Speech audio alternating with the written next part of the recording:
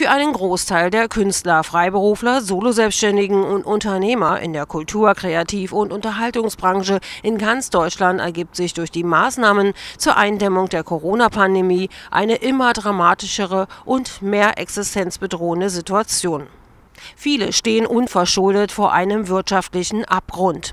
Nur umgehende Änderungen bzw. Ergänzungen an den bisherigen Hilfsprogrammen könnten dem entgegenwirken. Mit der Untersagung von Veranstaltungen bis voraussichtlich 31. August drohe ein unmittelbarer, bisher einmaliger sozialer Abstieg eines ganzen Berufszweiges. Nach Schätzungen der Initiative Kulturschaffender in Deutschland werden etwa drei Viertel der Freischaffenden und Selbstständigen eine solch lange Zeit ohne Aufträge und Einnahmen wirtschaftlich nicht überstehen können. Die Initiative Kulturschaffender in Deutschland ist ein ehrenamtlich arbeitendes, offenes Bündnis von freischaffenden Künstlern sowie selbstständigen Akteuren der Kultur- und Kreativwirtschaft. Dieser Tage legt es einen offenen Brief mit mehr als 5250 Unterschriften vor. Dieser fordere dringende Verbesserungen an den aktuellen Hilfsprogrammen, klare Rechtsverbindlichkeiten und die Forderung nach einem bundeseinheitlichen Vorgehen der Politik.